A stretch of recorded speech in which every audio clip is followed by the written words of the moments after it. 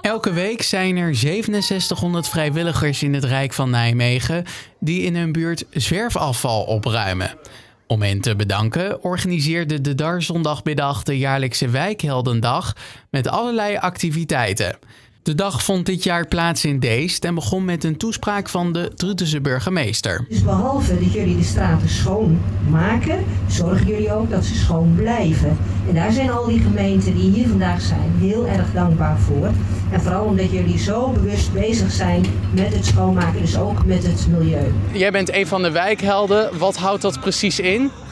Je moet uh, één keer per week moet je een uurtje lopen. En dan kan je 2,50 2,50 euro mee verdienen. En je moet gewoon zoveel mogelijk zakken met rommel opruimen. Waarom ben jij er ooit mee gestart? Omdat er heel veel rommel lag in deze en andere dorpen. Wat komen wij heel vaak tegen op straat? Plastic. Ja, heel veel plastic ligt er bij ons in de wijk. En vooral heel veel? Blik, blikjes. Blikjes. Blikjes, ja. En toen dachten wij, nou die rommel, die willen wij wel eens opruimen. Ja, wijkhelden zijn superbelangrijk. Ze zijn belangrijk omdat ze de wijk schoon willen houden. En het is belangrijk omdat we in de maatschappij dingen samen moeten doen en bewust moeten zijn van hoe belangrijk het is dat die wijk schoon is. De Bruin vindt het belangrijk om de vrijwilligers in het zonnetje te zetten. Daarom wordt ieder jaar de Wijkheldendag in een andere gemeente georganiseerd.